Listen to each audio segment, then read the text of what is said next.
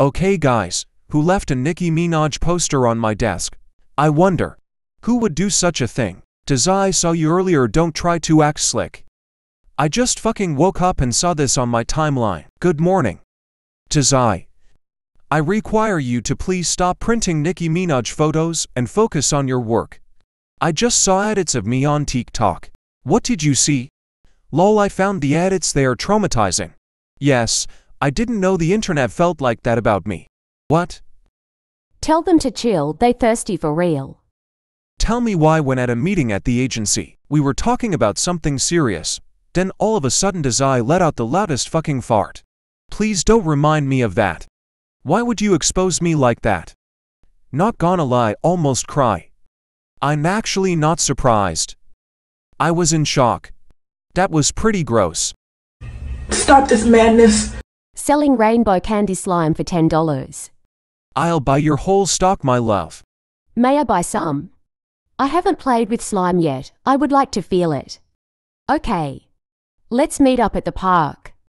What the fuck? Hello. Shut the fuck up. Atsushi X Akutagawa slow burn fanfic on my Wattpad now available. How? Ow. You do you. I'm going to commit on a live if you keep this up. Or worse, I'll kill you. Okay, I'll rate it. I think this is very humorous. What in the name of God's green earth is this? You know Dazai, it's not too late to delete this. Laughing my ass off. What? Is this funny to you? I don't see why.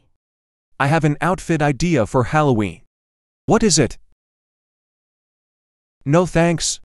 Some random ass girl just asked me out on a date, and I reply, Who are you? And she ran away crying. Chuya. You know to treat women with respect. Plus, you are so lucky for a woman to have feelings for you. I didn't even know her. What the fuck? Ranpo. Is this what you do instead of work? Because if you continue this shit, I will beat your ass. Nice cursed image. I think it's funny. 10 out of 10. I don't think it's funny at all. 0 out of 10. I don't even get it.